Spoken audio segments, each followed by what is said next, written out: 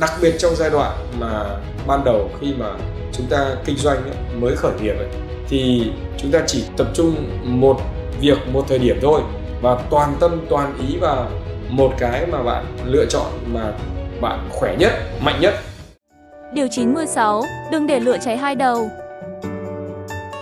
Cách đây à, khoảng 4 năm về trước, một người em là tên là Công. Lúc đó mới kinh doanh đâu đó được khoảng tầm một năm hơn một năm Công đang gặp khó khăn và đến gặp tôi để xin ý kiến tư vấn. Thế và Công có chia sẻ về cái công việc kinh doanh lúc đó. Thì Công vừa là kinh doanh cái điệu cho trẻ em. Thứ hai là Công lại kinh doanh về đầu tư bất động sản. Và thứ ba nữa là Công lại kinh doanh cả về cái mảng gọi là đầu tư Bitcoin.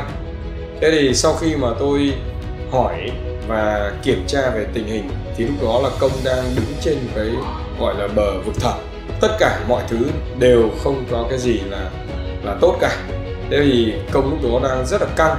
Và khi mà tôi uh, thấy rằng là cái kinh nghiệm của công kinh doanh mới chỉ được có khoảng tầm một năm hơn một năm mà trong cái đó thì công cái gì công cũng muốn tập trung vào thì tôi bảo là em ạ à, nếu như em kinh doanh như hiện nay không phá sản mới là chuyện nặng.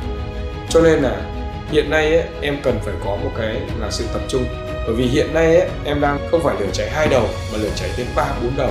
Làm sao mà em có thể làm được? Cho nên là em buộc em phải cắt bớt đi và chỉ tập trung vào một cái thôi. Đặc biệt trong giai đoạn mà ban đầu khi mà chúng ta kinh doanh mới khởi nghiệp ấy, thì chúng ta chỉ tập trung một việc một thời điểm thôi và toàn tâm toàn ý vào một cái mà bạn lựa chọn mà bạn khỏe nhất mạnh nhất. Sau khi nghe lời khuyên của tôi như vậy ấy, thì lúc đó anh công chợt bừng tỉnh ra. Và sau đó thì anh về cắt không có tập trung lan man, chỉ tập trung vào việc kinh doanh cái điệu cho trẻ em, kinh doanh những các cái mặt hàng cho bà mẹ và trẻ em. Và bạn ấy thì lại rất là gì?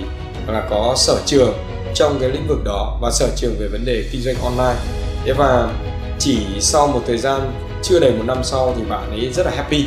Khoe tôi là báo cáo với anh rằng là em đã tăng trưởng doanh số lên đến hàng chục lần và kết quả là đã có lãi rồi sau đó thì anh ấy về sau, anh đã mở rộng cái kinh doanh của mình và đến bây giờ là sau 4 năm thì anh đã phát triển cái kinh doanh của anh rất là tốt và phát triển sang cái là mảng thứ hai rồi mảng thứ ba và đây chính là cái kinh nghiệm tuyệt vời để cho bất cứ ai khi mà mới bắt đầu kinh doanh, khi đang trong giai đoạn khởi nghiệp thì bạn đừng bao giờ để lửa cháy hai đầu hoặc là lửa cháy ba, bốn đầu.